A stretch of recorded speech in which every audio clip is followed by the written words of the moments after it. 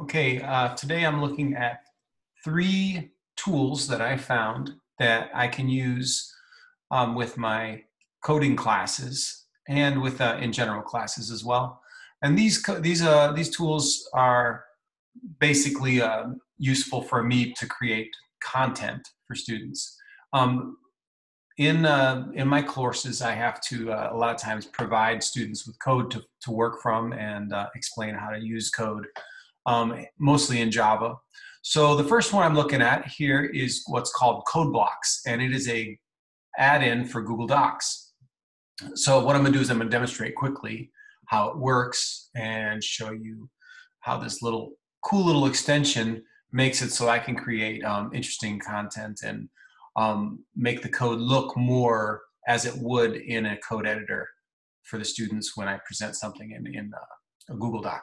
All right, so looking at this, I first pulled up a Google Doc and I made this uh, quick little Google Doc, and we're going to be doing if statements um, in Java soon. So what I thought I would do is kind of get this one started and show you how this starts, and I'll finish it up later. But for right now, I'm going to um, insert some code.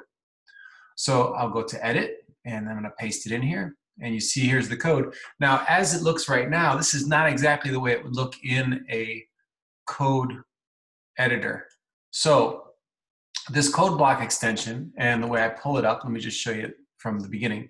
I go to here, add-ins, and then code blocks and start.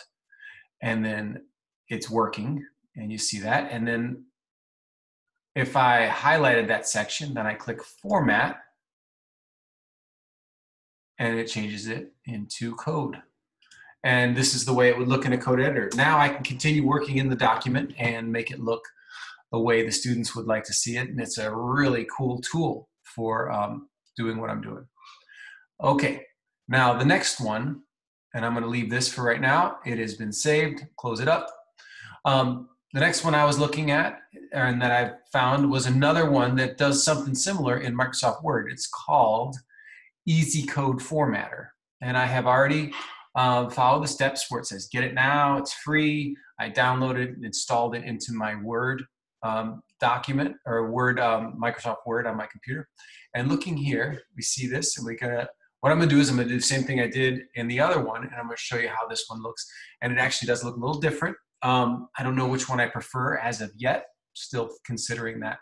So I'm gonna do, um, I'm on here in this, I'm gonna do edit and then um, I'm going to paste and I'm going to paste it unformatted. And whenever you're pasting code, you always want to paste it unformatted. So I'll paste it unformatted and you see how it looks. Um, they do get the tabs and it does look pretty good. However, it's not exactly the way it ought to look. So I highlight it. And then if you look here on the top, it's called Easy Code Formatter. I click on that. Um, format text as code and it would format the text that I highlighted only. And you see how that looks. Now, I actually kind of like this one better um, than the other one. Just glancing at it, uh, it does have um, line numbers and everything else. And if I wanted to go back in and edit it, I could actually, so there's an extra line in here. So let me just show you how this looks. Um, I can ooh, edit and pull that line out if I want to, and I could go in and edit the code in this Word document and then continue working on and uh, continue with my text and regular um, instructions. So that is my um, other one that I wanted to look at. Let me close this up. Um, the third uh, extension I have is actually what is a, it's a Chrome extension. And you see right here, I've installed this one, which is called Save Page. And what it does is it allows you to take an, a, a web page and, and saves it as an HTML file, a single HTML file, um, so that you can edit it um, offline or you can just look at the code if you need to. So uh, I'm going to show you how that works. And in order to make sure that I'm not stealing anything from anybody, I am going to um, grab a page that I have made, which is the computer science page for Pope High School. And if I look at this, and then the way I use this is I first click on Save Page. Okay, so I'm gonna click save, save page. And you see right here, down on the bottom, it downloaded my page as an HTML file. And this page is sitting in my downloads. Right here in downloads, computer science, HTML. It's just a regular HTML file. Now, um, I can open it, and if I click on it um, like this, uh, my computer default opens it in Chrome, and you can see that it actually opened a page that is in my downloads. This is the page that it opened. I'm gonna close that though.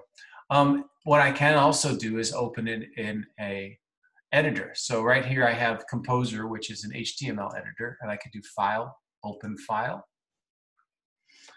Um, and grab this one.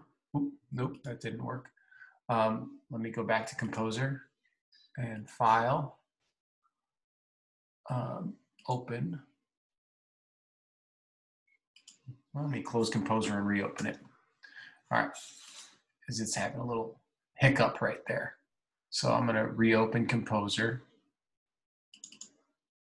and start it again. There we go. Uh, close, and I do um, open and get my out of my downloads and open it here. Okay, and I can look at it in a, in all the different ways. I can look at it as split, source. However, I can so I can look at the actual HTML document as source as a source document and see how exactly how they made that with all the scripts and metadata and everything else that might be needed. Um, so those are my three things that I found, and I, obviously there's a, a, lot more out there. Um, and there's some things that I've always used um, in my in teaching um, over the years. But I just wanted to show those to you, and I hope that you enjoyed them.